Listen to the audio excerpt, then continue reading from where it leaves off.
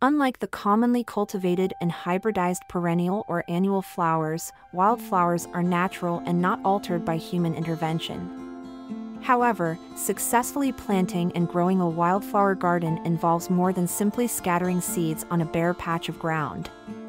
Here are some essential tips for a successful wildflower garden.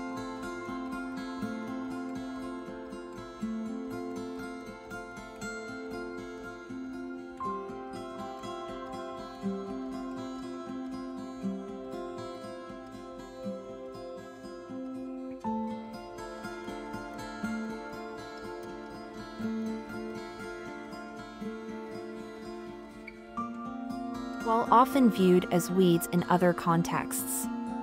Wildflower gardens are beautiful and attract important pollinators like bees and hummingbirds.